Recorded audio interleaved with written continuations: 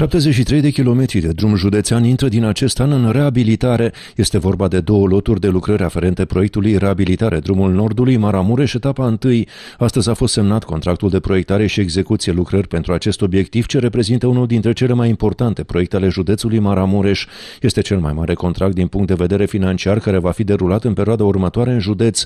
Vor fi două loturi de lucrări ce vor fi executate de o firmă austriacă cu acționariat elvețian care activează în România din 2007. Lotul 1 are o valoare de aproape 100 de milioane de lei, iar lotul 2 de 72,1 milioane de lei, în total aproape 172 de milioane de lei, echivalentul la aproape 40 de milioane de euro, care conform proiectului ar fi trebuit finalizat în 2 ani și jumătate. Drumul Nordului a fost uh, semnat ca și contract de finanțare europeană. Am reușit uh, cu multe dificultăți să finalizăm și procedura de licitație la finalul anului uh, trecut. Au existat de asemenea două contestații depuse pentru fiecare dintre cele două loturi, lotul 1, lotul 2. Uh, contestațiile au fost respinse de către tribunal, iar astăzi, din punct de vedere legal, Consiliul de Țeama Mureș poate să semneze contractul de proiectare plus execuție a lucrărilor, alături de cel care a fost uh, desemnat câștigător. Este un moment important. Drumul Nordului are aproape 73 de kilometri lungime. Este împărțit în două loturi. Traseul începe la limita de județ Sălaj, înspre Ariniș, Gârdani, Fărcașa, Patusat, iar de la Patusat în bifurcație trece peste podul, peste Someș, înspre Hideaga, iar cealaltă legătură merge înspre județul Satu Mare, înspre Borlești. Ne intersectăm cu drumul național 1C, iar din Șoncuta continuă al doilea lot, Șoncuta, Remedia Chiarului, Coaș, Copalni, Copalni Mărăștur, până în Șurdești, unde se realizează intersecția cu drumul deja reabilitat mai spre Bârsan. Dacă o să vedeți părțile gândite de către Consiliul Județean pentru reabilitarea drumului județean, o să vedeți că există cumva un uh, traseu continuu pe drumul județene reabilitate, sperăm de acum înainte din 2 ani de zile, astfel încât din nordul, sudul județului se poate circula dintr-o parte în cealaltă pe drumuri județene. Să avem drumuri județene pe lângă cele naționale care uh, traversează întreg județul și dau posibilitatea paramărășenilor să circule în condiții optime, în condiții pe, pe drumuri uh, reabilitate, drumuri uh, europene. Uh, N-ar fi foarte multe lucruri de spus decât că ne dorim ca termenele care au fost asumate în contract să fie respectate. Ele nu sunt uh, extrem de lungi. Uh, șase luni de zile proiectarea și aproape doi ani de zile uh, execuția, cu diferite tronsoane de drumuri. Unele au un an de zile termen pentru execuție, altele aproape doi ani de zile, în funcție de dificultățile pe care le întâmpinăm în, în teren. Unul dintre principalele obiective este chiar reabilitarea podului peste Someș, care este cel mai mare pod din uh, județul Maramureș și care nu va fi o lucrare uh, ușoară.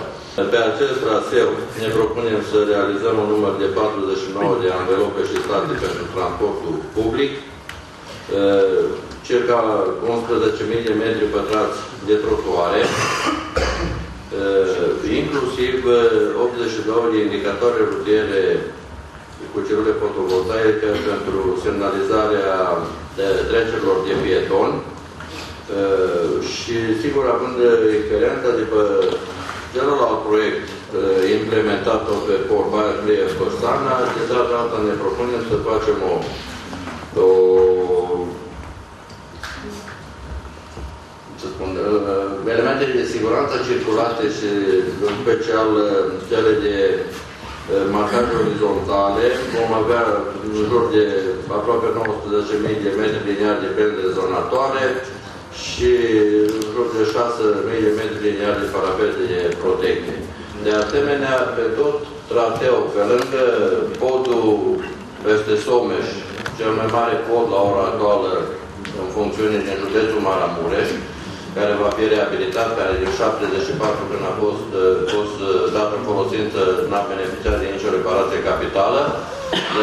Absolut toate podurile și podetele de pe traseu vor beneficia de lucrările necesare pentru reabilitare, punere în siguranță, De asemenea, zonele de la Șomputa, Păgealul Gărghezului cu uh, alunecări de teren, cetări de terasamente vor fi rezolvate, de la Coa și peste tot unde avem uh, aceste uh, probleme vor fi, vor fi rezolvate, puse în siguranță și nu în ultimul rând pentru a asigura o cale de rurare așa cum ne-o dorim și să fie ok tot ce trafic. și în special pe zona aceasta de pe Someș unde sunt foarte multe balastiere, trafic intens și greu, uh, elementele de, de rezolvare a capacității importante a, a drumului, ceea ce la ora, la ora asta nu sunt.